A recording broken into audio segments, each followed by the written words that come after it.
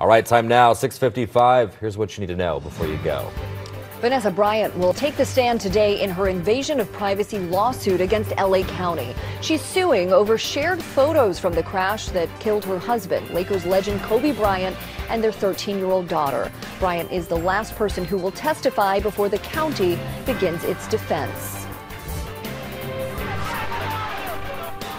A chaotic scene at the 7 Eleven in Harbor Gateway. This crowd gathered during an illegal street takeover, then rushed into the store Monday morning. Some people jumped over the counter, others stole snacks, cigarettes, even lottery tickets. Police are now searching for the suspects that were caught on camera.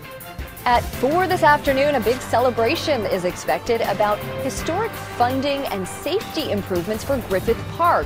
Today's event comes just a day after the board voted to permanently close Griffith Park Drive to cars from Travel Town to the composting facility. And it is a push to unionize at a NoHo bar. Dancers who work at the Star Garden Topless Bar plan to rally tonight outside the Actors Equity Association. They filed a petition for a union recognizing election earlier this year. They're calling for health insurance and better protection against abusive patrons. The move could make them the only unified, un unionized strippers in the United States.